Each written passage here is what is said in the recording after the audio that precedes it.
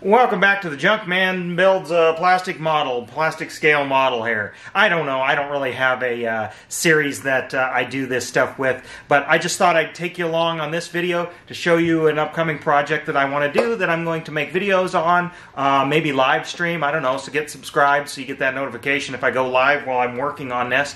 Um, I'll post regular updates, I think, or maybe I'll just post a uh, complete finished build video, a kind of how it happened video, um, maybe with some updates on the web. I, I don't know. I'm just off the cuff. So if you've watched this far into the video, please stick around and watch uh, the rest of the video so I can tell you what I'm doing here, what I'm replicating and building. Obviously, you can see this kit here in the background has a clue, maybe, but it's not going to exactly be this. I'm going to talk through it here. So stick with me, and let's go through what I plan to do in this uh, video with this project. Okay, let's first start off um, with uh, why. Why am I building this? Well, when I build models, I like to replicate memories. Um, I'm not very good at building models uh, that are real conceptual sci-fi kind of things, but I like to think, uh, build things you can see in real life or could have seen or that emulate real life. That's kind of what I like to do here. Other people like to do other things uh, when they do these kind of model buildings. But this is what I like to do is, is replicate as best I can uh, some real life. And this is going to replicate a memory of a vehicle that um, that I used to drive. Uh, well, still have actually, but don't use anymore. Um, but I have a very a lot of fond memories. It's uh, uh a, a, a, truck that um, was used heavily on the farm um, up until its retirement and replacement with something a little bit newer. Um, and we'll go through that. But um, the kit you see here is, is going to be part of the basis of it. Now, this is not the truck. This is not the truck. I'm going to put a picture right up here. Hopefully you see it. Editors, please put it in there. That's me. anyway, all right. That's what I'm replicating. And but you're probably wondering how I'm, how are we going to get to that uh, with this? All right, we're going to do it with this. Okay, this is a uh, a uh, custom made or a very low production. I mean, you, you can get one of these if you go to the appropriate website. Links will be in the description of how you can get this if you like this.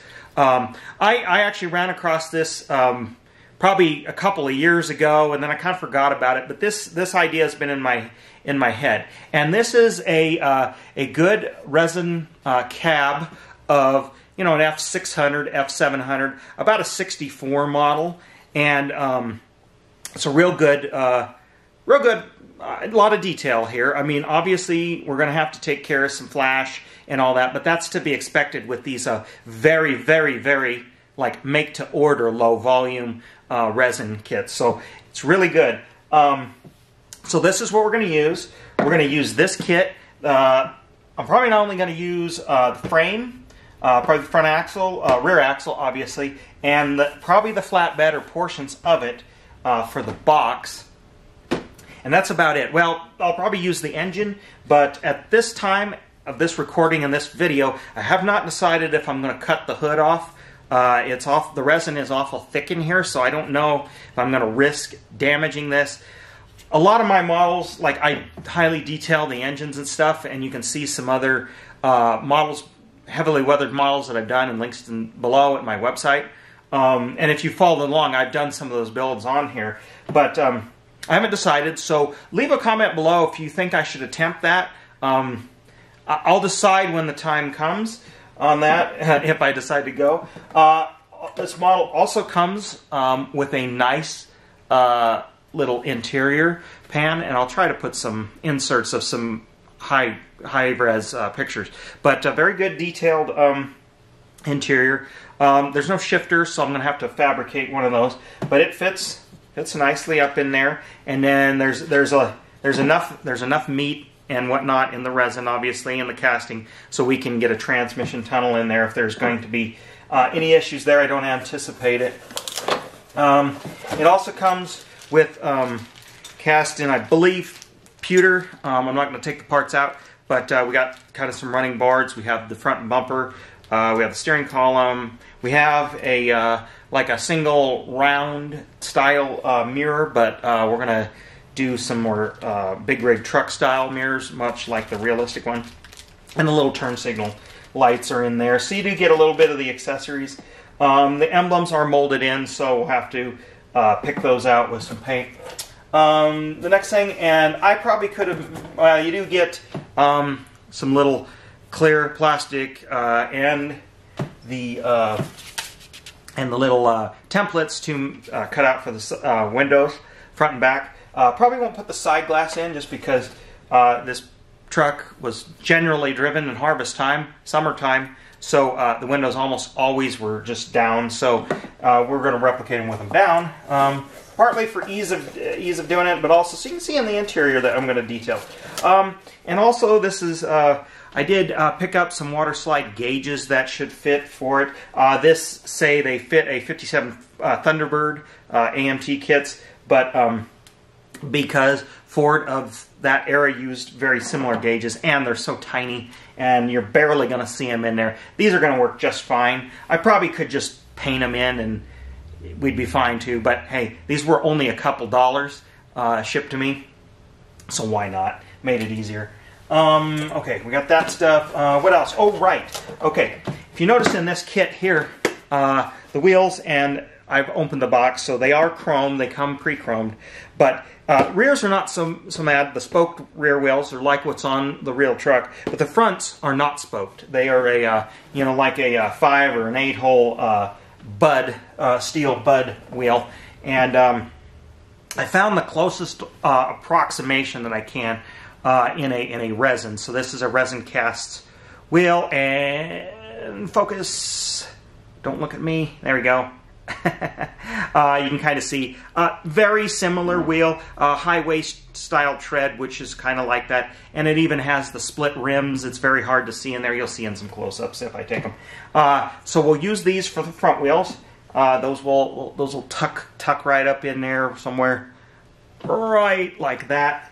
Um, I'll have to build a hub and stuff. Also, they do not come with uh, with lug nuts. Uh, so I'm going to have to fabricate those. I got an idea for that. Um, and I'll show it in the future update video or in the final video. You'll see exactly how I do all of this. Um, same with a lot of things. Uh, I'm going to have to, this is obviously a stake bed kit, uh, kit or, and it actually, I kind of bought this one not because it's Coca-Cola, but partially because it came with the two little Coke machines, which don't have anything to do. But I, I it's like if I'm going to buy a kit, a donor kit, uh, this comes with some bonus uh, things that I might use in a future diorama or uh, something like that. So I'll just keep those around for other uses. So uh, same with the stakes and, and uh, fuel tanks and even that cab. I, I maybe have an idea um, for for that uh, in the in a future video. So or a future project, I should say. Um, as far as uh, as the picture uh, show, uh, showed of what it is, this was a, a red in colored uh, red colored uh, truck, and uh, we just called it the red truck um, at the time because we did have a, a 59 Ford F600, same thing, but 59, and it was blue. So you have the blue truck and you have the red truck. Um, just different you know model years and obviously different styling and such. So I already went out and was easiest to grab grab a few cans. And I have two different kind of reds here, a, a, a dark dull red and kind of, it's called mica red. It's maybe has a little bit of metallic in it. Now, um, I've done some spray outs to see which one I can exactly decide, so we'll see in the future video update what, how, which way I go, do some more spray outs and kind of decide.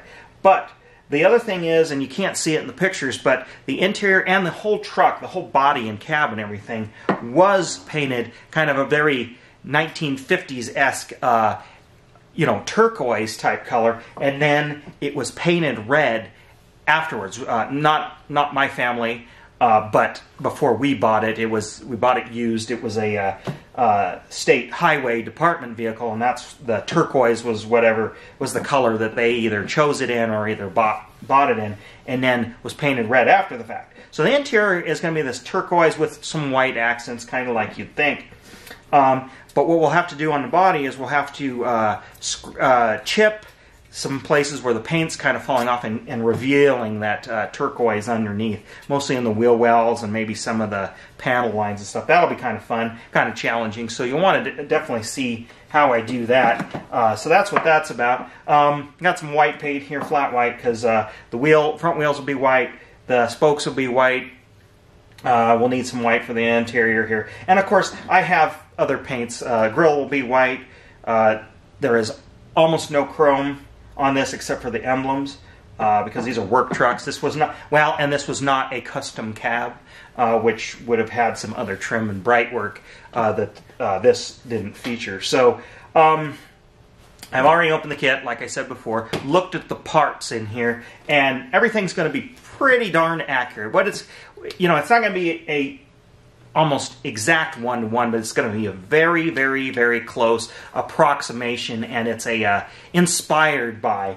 Uh, I'm going to scratch build a box. Uh, currently, it has a steel box. We got rid of the uh, wooden box uh, years ago for obvious reasons. We had to store it inside. With the with the metal box, you know, we can now we could store it outside uh, or and not have to keep paint on it, obviously. But when I was driving it. Um, and most of my memories are when it had most of my vivid memories are when it had the wooden box on it, and uh, you know the panels, you know, rattled going down the road, and when it was empty, they kind of bowed in and and all that, and um, we used to haul cattle in it too. It had stakes that went on top, or we could take those panels off and put stakes. Uh, this make it a stake bed just like this truck, but uh, it almost always uh, had the sideboards on uh, for hauling grain. So, and on, there's going to be a ton of little details that we're going to put not only in the interior but inside the box, and that's why you're going to want to watch and see some of that stuff because uh, there's a lot of uh, lot of unique things uh, that that I'm going to add to add that realism to it. And uh, and with that realism, I want to call out some of my other builds. Uh, maybe I'll put a picture up here, or definitely the links are in the description of a 1974 Kenworth W900 uh, used on the farm, and a uh, T and a later 94, 95 ish uh, T600 uh, replicated those. Uh, those are still in use. Well, mostly the T600. Um, for various reasons, hauling grain, hauling equipment, and such.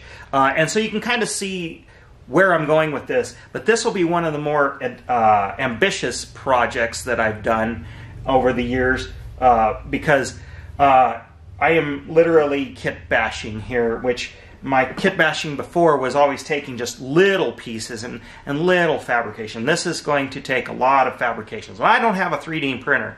Um, I'd like to get one, but I don't have one. So I'm going to have to do a lot of this by hand um, using raw materials and things. I can't just sketch something up and, and SketchUp or Tinkercad or something and then you know go go 3D print it either with resin or PLA or something.